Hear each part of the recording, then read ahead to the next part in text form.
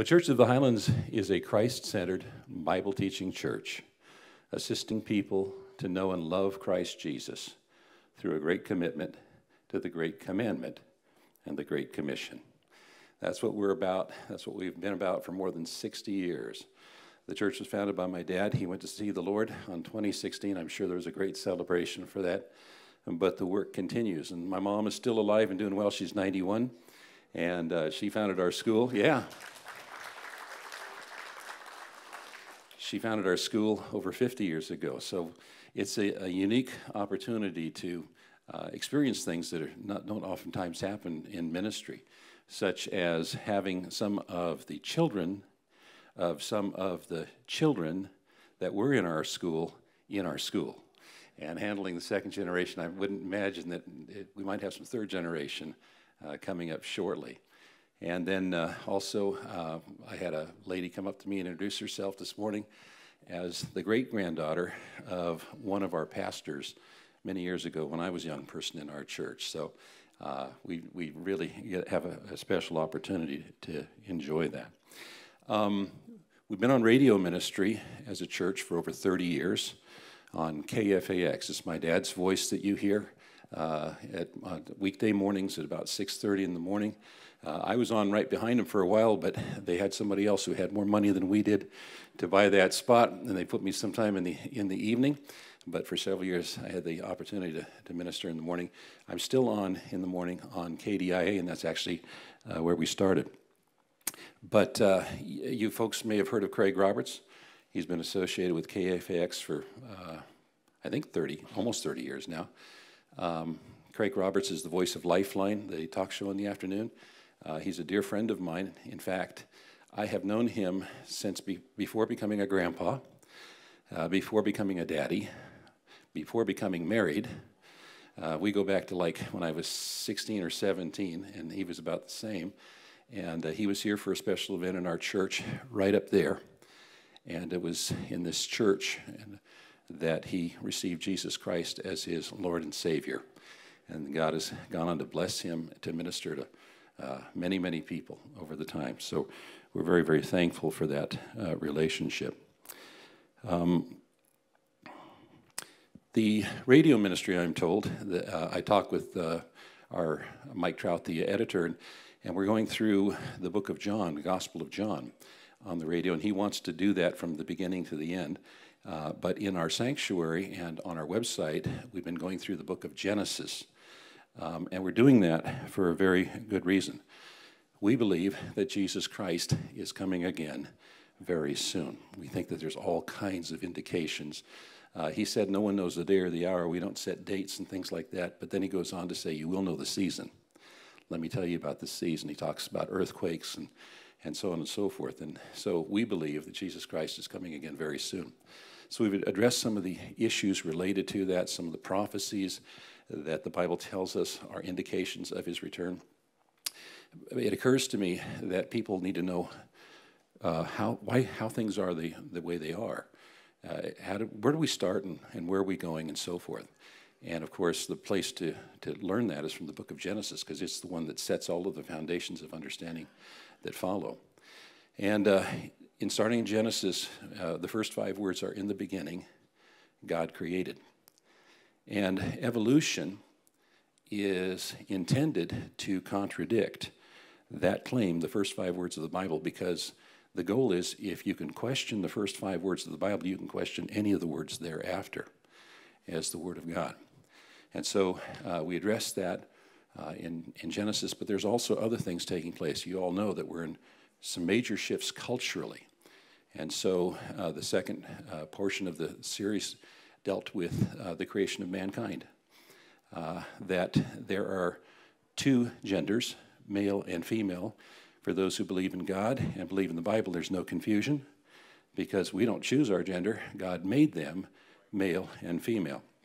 It goes on in chapter 2 to talk about distinct roles for males and females, and then it goes on to talk about marriage one man, one woman, one flesh, one lifetime. And so we're going through Genesis in order to provide Christians the foundations of understanding how distinct Christianity is from the culture around them. And so, we, why? It's important for people to make a choice. Do you believe the Bible or do you believe the stuff that's going on around you? And uh, so, we're making our way through the book of Genesis and uh, just wanted to, to, let you know uh, to keep us in prayer as we continue that. And uh, this event uh, was scheduled, I think, six months ago or more. We've been working on it. that was a time, remember, that when churches were opening and closing and opening and closing and stuff like that. So it was uh, an act of faith to do it both on our part and on their part. And, uh, and we are so glad that it's come together. And uh, Dr. Thomas was actually with us, I'm told, about eight years ago. So it's been eight years since ICR was here, and I told them we got to make sure that you come back before another eight years happens. So hopefully we can make that happen. But let's pray right now, shall we, for our day? Lord, we are so thankful that we can gather together and that we can be encouraged in our walk of faith, that we can be encouraged that your word is true and we, and we can put our faith in it and we can have answers to people who ask us the reason for the faith we have. We ask you, Lord, to bless this day, bless our speaker, bless our ears, bless our hearts. May they be toward you, we pray. In Jesus' name, amen. Let's welcome our speaker.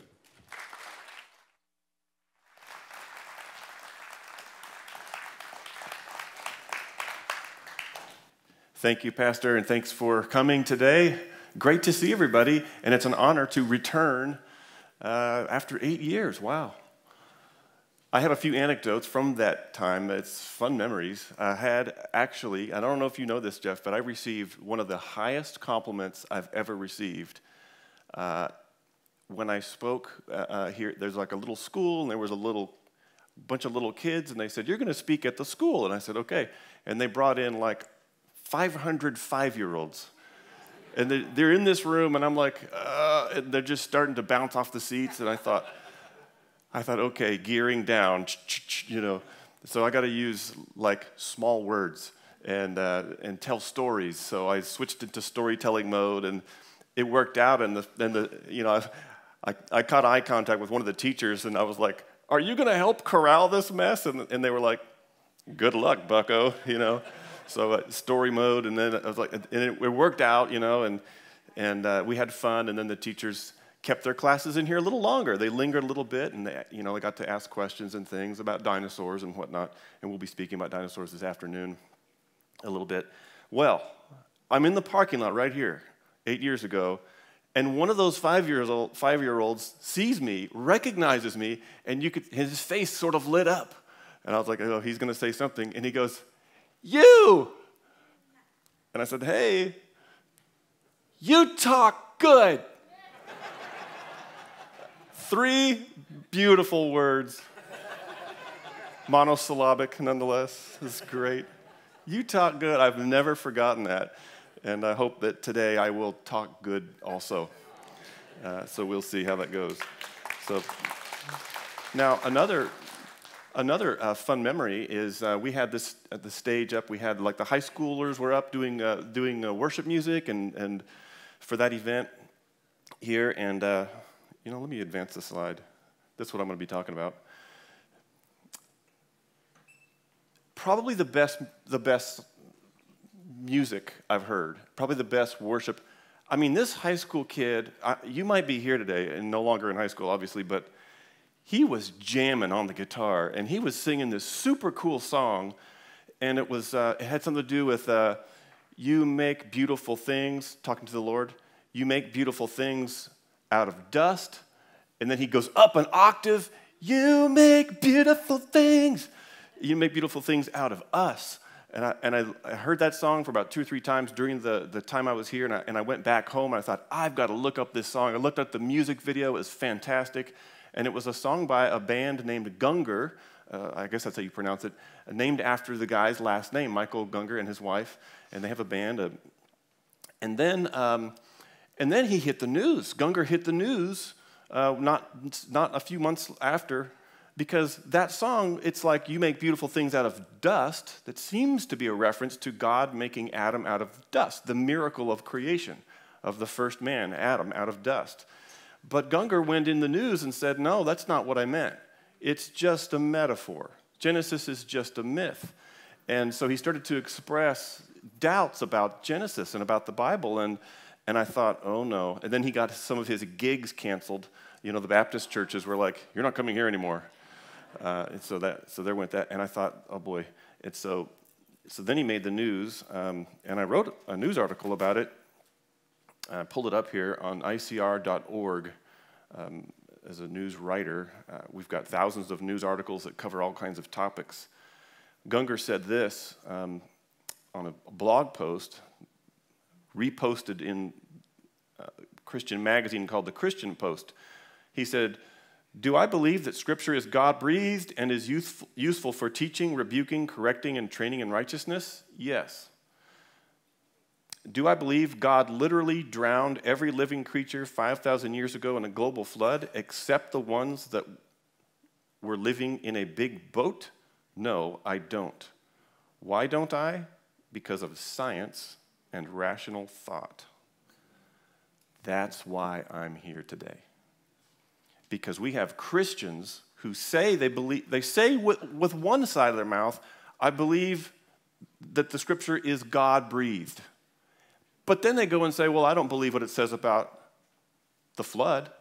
Genesis is a joke. The flood never happened.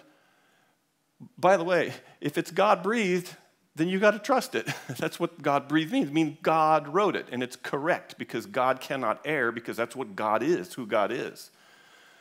So he's saying one thing and believing another. He's saying he believes one. He's saying he believes, but he doesn't. So that's me. That was me. I would have agreed with this guy. I would have said, um, not long ago, thank you. He's got to check me in for my flight. We're already late checking in tomorrow, so thank you, Corey. Um, anyway, so I would have believed, I, I, would have said the same things. I agreed with him. Um, Genesis, meh.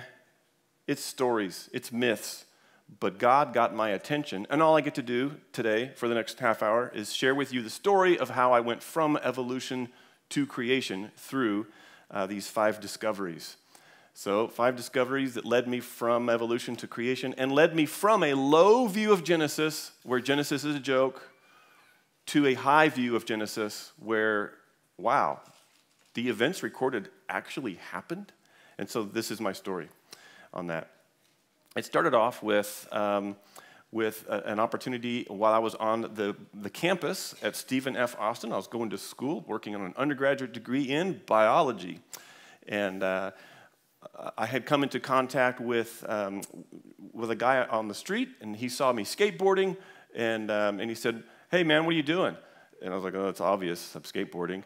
And, uh, and he had his hand behind his back, and, and he had a group of, of, of guys and gals with him. And, and said, Do you go to church? What do you believe about Jesus? And I said, Well, I, I don't go to church, but I think Jesus, you know, I have a high regard for Jesus or whatever. So the conversation went down something like that. And he said, Well, if you're a Christian, you should, do you witness? I said, Witness? Is there a court of law somewhere? What do you mean, witness? And he said, Well, witness means to share with others what the Lord Jesus has done for you. So I was like, Okay, I want to find out what this is about. And so he, he brought his Bible from around his back, and that's what he was holding back there. And oh, okay, you're one of those Bible carrying Christians. And so I just I, I picked up my skateboard and followed. Kurt is his name, and uh, actually had lunch with him yesterday in Dallas. Uh, sorry, day before yesterday. Uh, he's, he's from Houston, but I met him.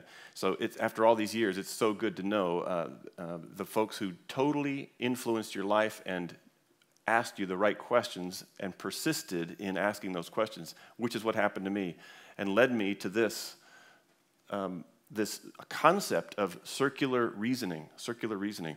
And so here's how it went down. So I'm following with uh, Kurt, and Kurt took me to, uh, to teach me how to witness. So we got to practice this. So we went out in front of a bar, and there's a bar, and then there's people going in and out of the bar, and then there's this street, and I remember it was a brick wall um, at, at, Crossroads Bar. It's long extinct, but um, we were there, and, uh, and Kurt started sharing with, you know, talking in conversation with, a, with um, some gal, and she was like, uh, she was holding her beer in one hand, and then Kurt was talking with her. What do you think about church? What do you think about Jesus? Trying to steer the conversation to spiritual things. And, um, and then she, she takes her drink and goes, Oh, yeah, God is totally cool. Like, she hides it behind her back. So God is awesome. Yeah, I, go. To, I, I used to go to church. I, I believe, but uh, you know, uh, that kind of thing. And and then from the, my right side, and I'm kind of like a fly on the brick wall, you know, watching what's going on. This guy stumbles out of the bar, and he has had way too many drinks, and um, and he is bombastic, and he is so loud we can hear him up and down the street. You're talking about God and the Bible? Bible's a bunch of junk, man. And then so Kurt can no longer talk with this gal because this guy's just too, too much. And so he, he turns his attention to this guy and says, What about the Bible makes it such a piece of junk? And he goes, Science! Science has proved the Bible wrong. Talking like that. What science? And I was like, wow, this guy has, asks good questions. What science has proved the Bible wrong? Man, fossils. Fossils are millions of years old, and that's not in the Bible. And I'm leaning against the brick wall thinking, the drunk guy's winning. you know, he's right. Because the fossils aren't in the Bible. The millions of years aren't in the Bible. The, the evolution that those fossils prove isn't in the Bible. Because in the Bible it says that God created these creatures to reproduce according to their kinds, but my biology teacher, who knows better than God because he was there, wait, who was there? I trusted my biology teacher more. And my biology teacher said evolution, morphing between kinds, in direct contradiction to what God said about according to kinds. And then the Bible says, within six days. For in six days the Lord made the heavens, the earth, the sea, and all that is in them, and he rested on the seventh day. That's in the Ten Commandments, written by the finger of God. Exodus 20, verse 11. And, and uh, that's not what evolution teaches. It's over billions of years. And so it's not, it's not thousands, it's millions and completely different histories. And I thought, this guy's winning because he's got the right, the scientific history. And then Kurt asked him this You say the fossils are millions of years old, and that's why you don't believe the Bible. Do you know how they assign ages to the fossils? And I mean, everyone in the street is like watching this conversation.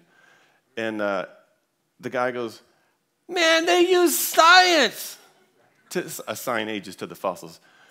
Do you know what science they use? Like, what experiment do they run that gives an age?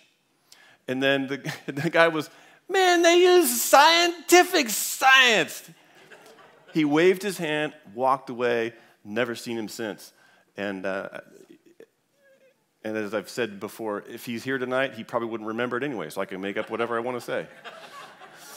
so, so, uh, so that happened. And, and so then we went back to Kurt's apartment afterwards, and Kurt said, Hey, what do you think of that conversation? And I was like, Yeah, that was pretty good, but the guy was right, you know, about millions of years and fossils and, and evolution. And, and, and Kurt said, well, do you know how they assign ages to the fossils? Did you know that they assign an age to this fossil based on the age assignment of the rock layer from which they found the fossil?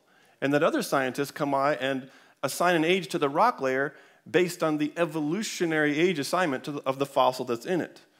And did you know that they date the fossils by the rocks and the rocks by the fossils? And that's just circular reasoning, not science. And I thought, surely my professors aren't that dumb. Surely they're smarter than that. And he said, Prove it to me. Show me that they're not using circular reasoning, and I won't tell people this anymore. And so I started researching. That was the key. That was the challenge he put before me that started me to think, all right, you're on. I'll figure this out and I'll show that they actually measure stuff and that they're not using just circular reasoning. Well, a week passed. Brian, did you uh, refute circular reasoning? As the basis for this whole evolutionary scheme? And, and no, I haven't yet. I had to study for my uh, such and such test. A week later, same question. Well, Brian, do you still believe in that stuff? Or, or can you refute circular reasoning, that they use circular reasoning? Do they still date the fossils by the rocks and rocks by the fossils? No, I, well, I, I, I don't think they do, but, well, Brian, I'm waiting for you to refute me, and I'm, I'm waiting for the answer to this. I don't have an answer. I don't have an answer. Six weeks in a row, this guy persisted. And I got annoyed. I was like, So literally, he goes, Well, let me bring this up again, Brian. And, you know, and uh, do they use circular reasoning? And I said, Kurt, I'm sick and tired of you asking me about circular reasoning. I don't want to talk about it anymore. And he goes, Well, I love you too much to not talk about it because it's important that you understand where you came from. And he said, I'll, do you, I'll do you a, make a deal with you. You read this creation book, and I'll stop asking you. If you'll just read this book about creation, I'll stop asking you. And I said, You know what? You're on. And uh, so I started reading this book on creation. It was titled Scientific Creationism. Horrible title. I looked at it and I thought, ugh, you might as well title it Quack Science, Do Not Read Me, you know. But I picked up the book and I thought, this is going to be great because I'll refute it and I'll come back to Kurt and I'll say, this was wrong and this was stupid and this was not scientific and da da da da da. And so I had one of those yellow legal pads and pen in hand and back in my apartment and I started going into this thing, man. Page one, uh, you know, section one, chaos or cosmos. I thought, well, I guess, I guess it is interesting that we live in a cosmos that's organized where matter is organized into stars, stars are organized into galaxies, galaxies into galactic clusters, planets, and it's all swinging around like a giant clock. It's not just a big mass of hydrogen or quarks that are just floating around randomly. It's very organized. How do you get that? And so this actually makes sense. And then chapter two, this, no one told me this. And then chapter three, this makes more sense than anything I've ever heard. And by the time I got to chapter four, my notepad was absolutely blank. I could not find anything wrong with it. And it made more sense of the, the real world. And it didn't, it didn't invoke a single Bible verse. That was important to me. So my first personal discovery was they actually do use circular reasoning. They believe what they want to believe, and then they fill in the blank with what they've already assumed in the first place.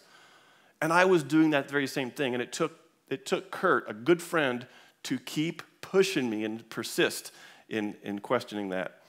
Um, and to this day, you can find dozens of news articles that I've written uh, and, and my colleagues have written. We have 50 employees at the Institute for Creation Research. We've been around for over 50 years.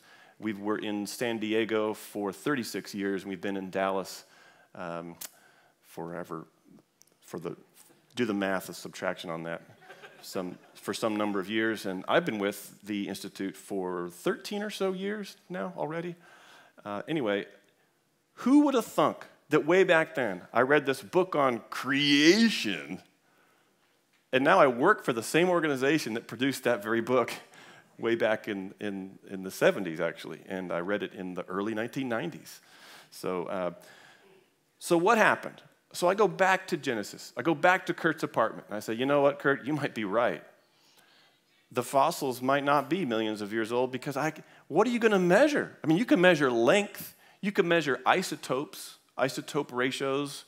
Uh, those are versions of atoms. Uh, but you, but you can't, you can't like measure, what are you going to measure? Agicles? To see how, how, what the age is? You just don't measure that. You can measure my hair receding rate you know, I'm getting older. But some guys don't have receding hair and they're older than me, and those are called bums. bums. You can measure wrinkle rate.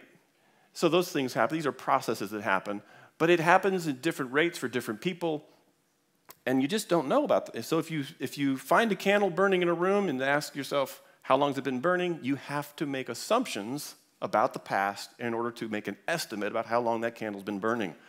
And it's the same with any process you use to measure an age, and you just can't get science to do that kind of job. Science measures that which is repeatable, observable, measurable, and you can't do that to the past. So you have to have a different resource, a different, more appropriate tool to reconstruct the past. Like, like a judge does in a court of law. What kind of tools do judges use? Uh, eyewitness testimony, receipts. So, what do we have in the Bible? A collection of reliable historical documents written down by eyewitnesses who were there. Ultimately, God Himself, the one who knows it all. So, my view of Genesis went up a big tick on the notch of, yeah, that's a joke, to maybe it's more believable. And I read it again and with more respect. But then I got to zoology class that very next semester. Zoology is the study of zoos, right? no, it's the study of animals. And I had Dr. Fisher as my professor at Stephen F. Austin in the piney woods of East Texas. And he took all of us podunk, piney wood, East Texans, um, and his mission in life was to persuade us that all the churchy stuff we heard about creation was wrong and all the evolution was right. So he said, This is it, class. This. And he, and he had one of those overhead projectors. And he had a picture of, uh, of Archaeopteryx. Will you say that out loud with me? Archaeopteryx? Archaeopteryx. So, anyway, that's the name of this extinct fossil bird. And he had an Archaeopteryx, and he slapped the transparency onto the overhead projector. Um, and I'm looking at my audience, and I'm thinking, most of y'all know what I'm talking about. Some of y'all don't. It's okay. It looked like this in the end. Uh, and this is a bird with reptilian features that it has retained from its evolutionary past, from when it was evolving from a reptile into a bird. For example, it has teeth in its beak and it has a long bony tail. Reptiles have long bony tails, and reptiles have teeth in their mouths. So, therefore, this must have been evolving from a reptile. Proof of evolution. And I thought, well, if, if that's what it is, that's what it is. It's got to be proof of evolution. And uh, so, somewhere, somehow, Genesis is missing something because this is fossil proof of evolution. And if evolution is true, if you can get a reptile to morph into a bird, then you can get creatures to change between kinds. And so, whatever it says in Genesis about according to kinds must be wrong. God must be wrong about this. And, uh, and then I got to page, I think it's page 84. I looked it up the other day in that book that Kurt had lent me, the creation book. And guess what's on page 84? Archaeopteryx. And I thought, what are these creationists going to say about Archaeopteryx? They weren't there. They didn't go to Germany to study this fossil firsthand. What do they don't know anything? And then I read it, and you know what? Genius, brilliant didn't have to do their own analysis. They just let the voice of the enemy speak for itself, and they quoted evolutionary experts who had examined the original fossil, and here's what they had to say about it. And he quoted them, and I read the quotes, and it was something like, based on the fact that he has feathers, see him feathers? it left feather impressions. Uh, feathers on the tail, feathers on the wings, short feathers even on the legs we, we, now, uh, we now know. Anyways, it was a bird. And then a second quote that said, even though the transition from reptile to bird is thought of as highly momentous, we don't have a single fossil that we all agree on that verifies that that transition ever took place. And I thought, wait a minute, it's a bird. It's just a dead bird. It's not proof of evolution. And then I thought, also, reptiles aren't the only creatures that have teeth. And then I went to the mirror. I'm not a reptile and I have teeth. I mean, some of us might be pretty reptilian, but I don't feel that way most of the time. And then, you know, monkeys have long tails. So is this evolving from a monkey into a bird? That's why it has a long bony tail. So it was totally selective. It was just storytelling. And I went back to Genesis and I thought, wait a minute if the best example of evolution is just a dead bird created according to its kind that now is extinct, then why am I doubting Genesis anymore? And I went back to Genesis and read it again. And I thought, okay, according to kinds, I get it. This was a kind that you created. And uh, well, then it says created recently. And I'm going to leapfrog two discoveries ahead, but in a minute I'll tell you more details about this recently, the Bible teaches that this happened recently, thousands, not millions of years ago. And just a few years ago, scientists um, examined the feather impressions on this uh, fossil from Solnhofen, Germany, and they found keratin protein still remaining in those feathers.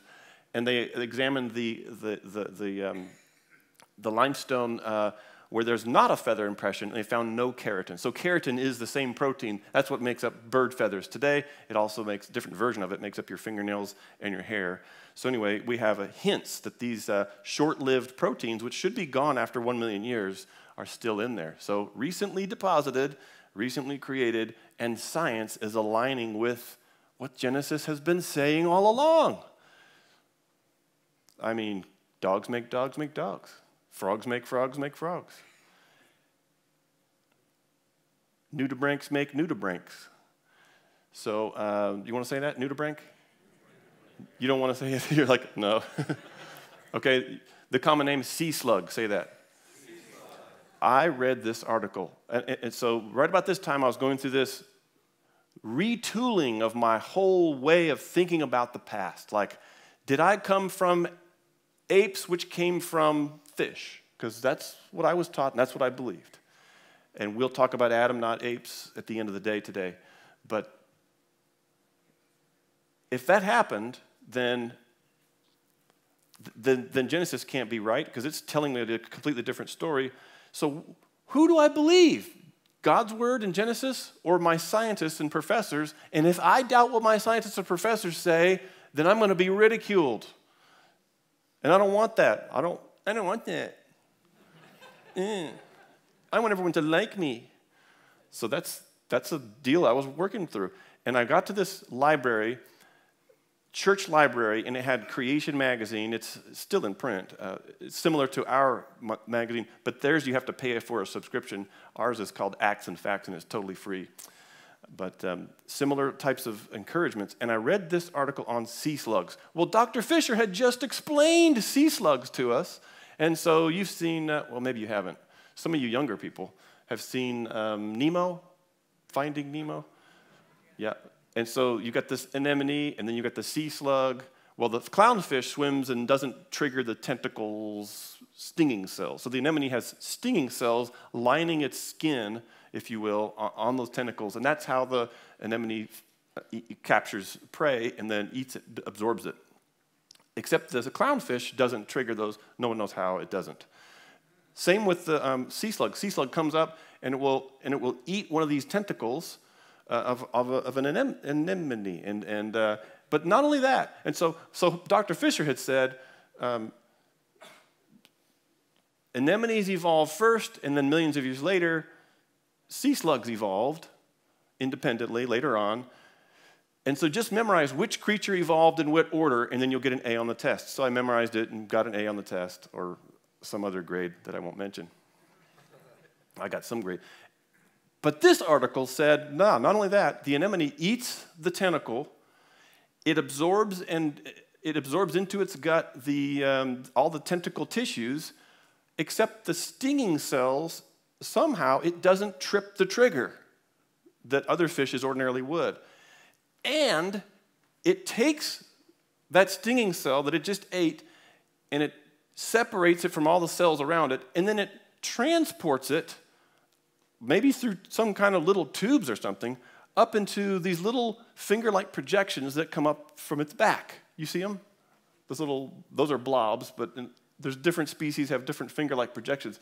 And it takes those stinging cells that it just stole and it puts them and it puts them in place in little little positions right on its own skin and it uses the stolen stinging, stolen stinging cells for its own defense and I thought, Professor Fisher didn't tell me that.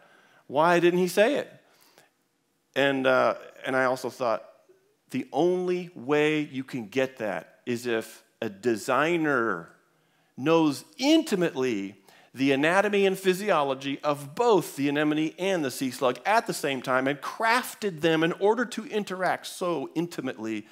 Only God could do that. And I thought, evolution's out.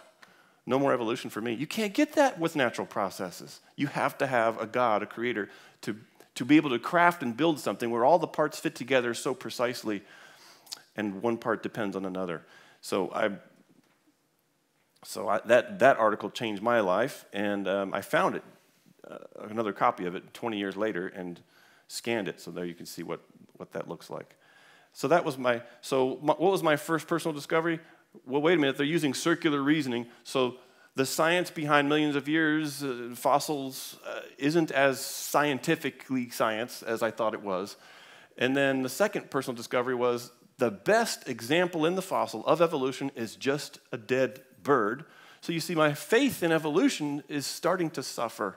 And I'm going back to Genesis and going, wait a minute, At every turn here, I'm finding that Genesis got it right again. Genesis got it right about God created the heavens and the earth and everything that is in them, not nature created. And that's what evolution story tells us is that natural processes do this. Natural processes took a fish and turned it into a person, took hydrogen and turned it into humans, naturally, not supernaturally.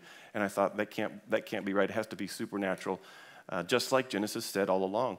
Well, now I'm stuck with like how, how do I get um, how do I get these millions of years? I, I, I still struggle with the time, you know, because boy, once you once you grow up like I did with the, the belief that you that the world is billions of years old, and uh, how could it possibly not be the case that all these scientists could be so wrong about such a basic historical element? And so I went back to the Bible and I thought, how can I squeeze millions of years into this Bible? And I went through these different process, or these different thoughts. One is theistic evolution, which just says um, evolution happened over billions of years, just like the atheistic evolution. Atheistic means what? There is no God. So theistic means there is a God and that he is outside the created universe that he made. But he can interact in it. That's the theistic God. That's the God of the Bible. Um, and so I just thought, well, you don't get, evolution doesn't work, period. You can call it theistic, atheistic, deistic, you can call it whatever word you want to put before it, but you don't get sea slugs to eat anemones unless you have creation, not evolution. And so I crossed that off the list.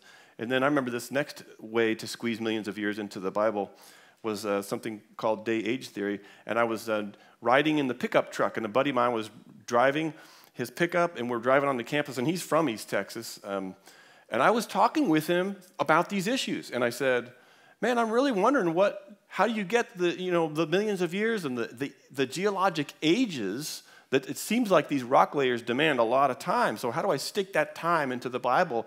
And he said, I got it figured out. This is how he drove with his hand on the steering wheel.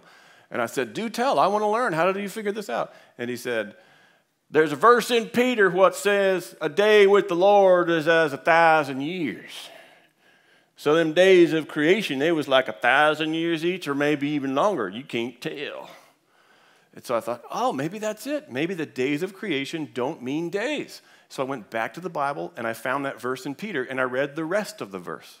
It says, A day with the Lord is as a thousand years, and a thousand years is as a day. So does that mean we take every thousand year block and turn it into a single day? It's not talking about the days of creation.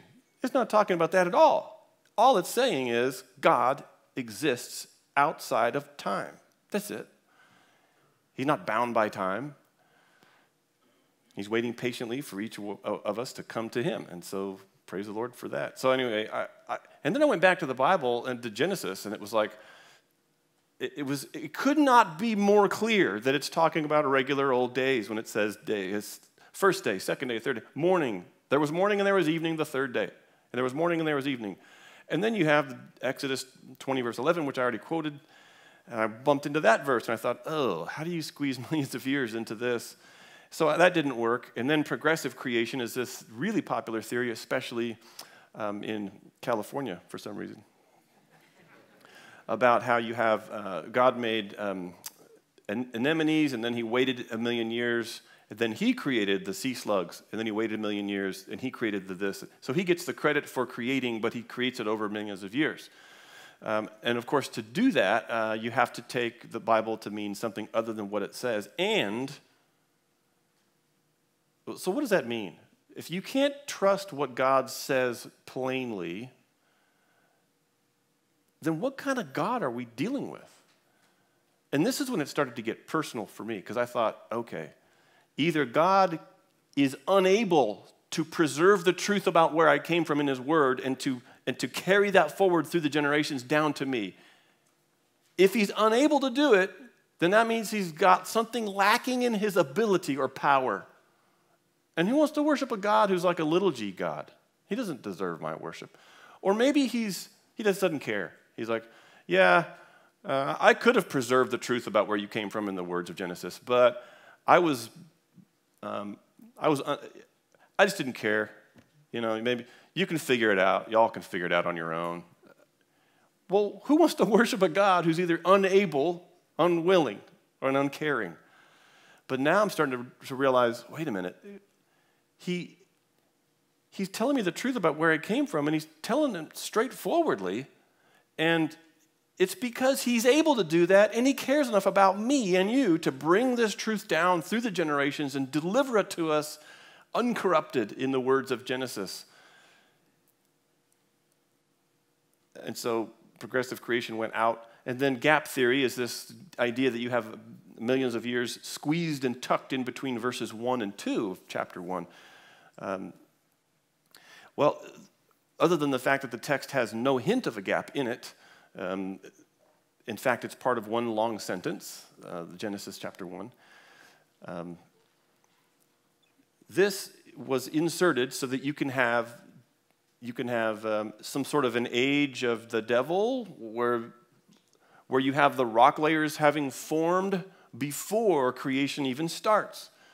But of course, if that's the case, you have, so, so in other words, it's a way to squeeze the geologic ages into the Bible is by sticking them in between verses 1 and 2. It'd be like saying, uh, This morning I woke up and I started to head to uh, Church of the Highlands. Uh, and by the way, I had, I had some donuts that Jeff provided, and they were pretty good. And then I got ready to come up to the stage and speak. Well, that's what the narrative says. In the beginning, God created the heavens and the earth and the earth was formless and void, and the Spirit of God was hovering over the surface of the deep. And then he goes on to describe the, what he does next. So it would be like saying, I got up this morning, go to, uh, got ready to go to the Church of the Highlands, and, um, and then I waited a million years. And then I had some donuts and Deb provided, and boy, they were, I don't even know if you provided them, but I'm giving you credit. The millions of years aren't in the narrative, but here's the other crime that it commits, and this is more egregious um, it sticks death before sin. So, in order to get these rocks and the fossils that they contain into the, if those rocks demand millions of years, you got to stick them in there. But that means that when it says, Behold, at the end of chapter 1, God looked at everything He'd made, and behold, it was all very good. Now He's calling billions of dead things buried in rock layers laid down by water all over the earth good, complete with cancer, thorns, um, bite marks from dinosaurs biting each other and other creatures. It was death, mayhem of monsters. you know, that's what's recorded in the fossils. And that's all very good. And it happened it happened before sin. Well, the Bible says no, it's all very good. And then sin, and then death after sin.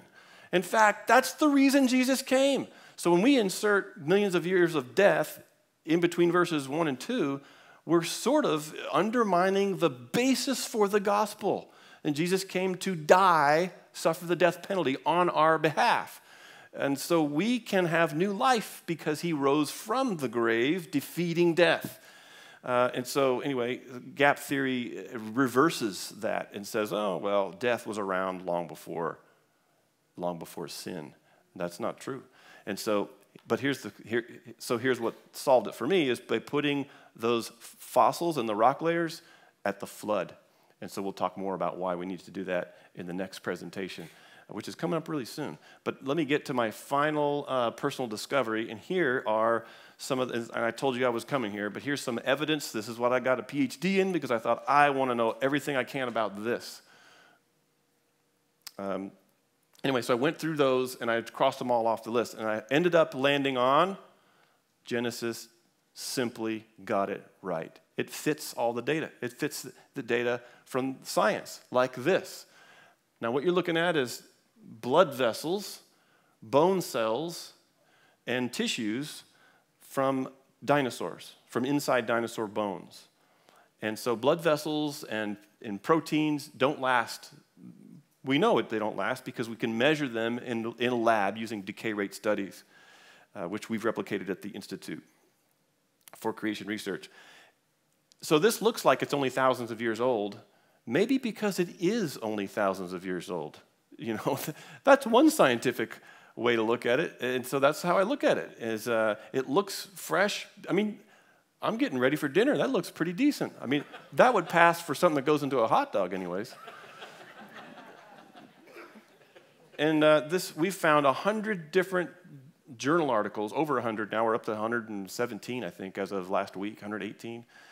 Uh, scientific, technical journal articles that describe these kinds of tissues, blood vessels, bone cells, uh, squishy, flexible material still intact inside um, fossils, all kinds of fossils fossils, frogs, fish, turtles, uh, dinosaurs, you name it. it. it. looks like, and we found it from every continent except uh, Australia.